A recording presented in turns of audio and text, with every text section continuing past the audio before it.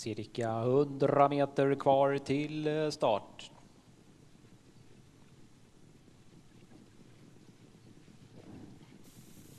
Den har gått i kvällens åttonde lopp. Eh, jämn inledning, ett eh, Surprise Power. Utifrån kommer tre Ari Ben.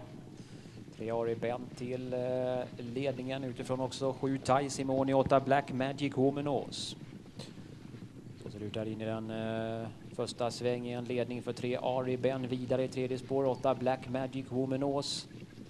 Har där framför sig sju Tai Simon i andra spår som tvåa just nu. Nummer fem Fuxa Håleryd. Favoritinloppet allra sist i andra spår just nu samtidigt som sju Tai Simoni har övertagit ledningen. Får utvändigt åtta Black Magic Womanos. Snabb eh, eh första 500 09,9 i tidsnoteringen.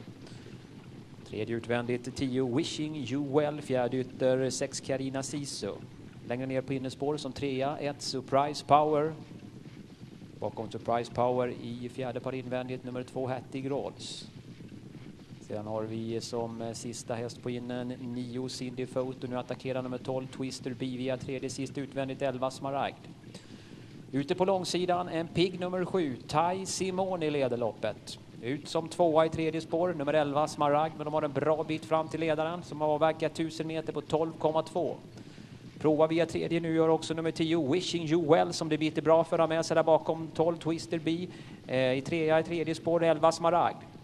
Kommer då här i ingången till den sista svängen. Alltjämt en frisk nummer 7 Tai Simone. Galopp för 10 Wishing You Well. Vidare i spåren med 12 Twister B. Men när vi kommer in här på upploppet så leder 7 Tai Simone. André Eklund, han jagar en ny seger här. 12 Twister B kommer nu snabbt eh, via spåren. Men när vi kommer in på upploppet så leder 7 Tai Simone. Här kommer 12 Twister B. Han jagar en eh, ny seger också, Kristoffer Eriksson. Han är på väg att få den med nummer 12, Twister B. Långt ut flyger också nummer 9, Cindy Photo hastigt. Men det är 12, Twister B. Grattis! Tack så. Det är omöjlig kväll. Ja, men jag har haft fina hästar också så att eh, det måste stämma också. Som nu hade vi spelat 12 högt tempo första året och så fick vi en bra rygg i, när vi attackerade så att eh, det är sånt som krävs för att vinna från de lägena. Och när kände du att du skulle vinna då? Eh, Du fick ju bra resa som du sa. Ja, när man kändes stark och det är ju en bra häst i, i sig själv så att jag, jag räknade med rätt så bra chans när vi kom dit vi kom och samtidigt så hade vi eh, hjälp med tempot också. Kändes hästen helt perfekt ikväll?